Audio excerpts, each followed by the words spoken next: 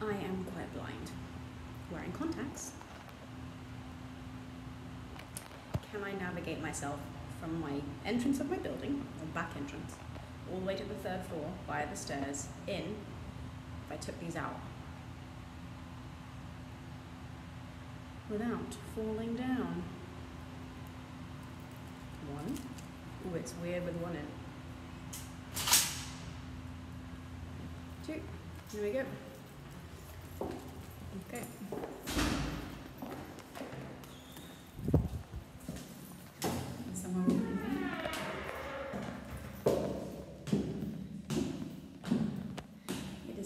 13 being in a blurry world.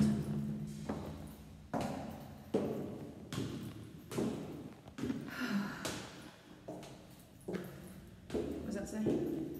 Flight one. Can't tell you how blind I am. So far, I'm lifting my feet up. Ooh. As I say that. Oh God, again bit.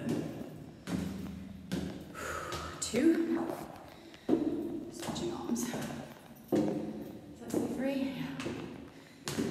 Okay. Down the hallway. See that? Do you see this hallway?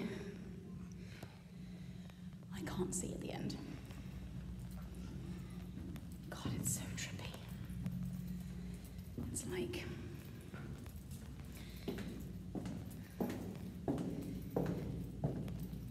An illusion. Okay, keys. I can see things that are like this. I just can't see things far away. Can you hear how out of breath I am? Bloody stairs. Double locked. Double locked, of course. Let's make my job harder. Couldn't find the door then. I made it. I made it.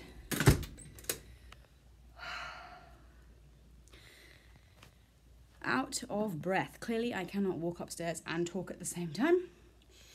It's boiling. And I'm living in a blurry world. I'm really blind. no, I'm really blind. There's a giant A on my door, just so I don't miss it. no, that's not true. Um, well, look, we succeeded in two things. I made it. I didn't trip up because I couldn't see the steps and how high they were. And I didn't vomit because this is pretty nauseating when you can't see things clearly. Let me tell you. Let me tell you. Woohoo!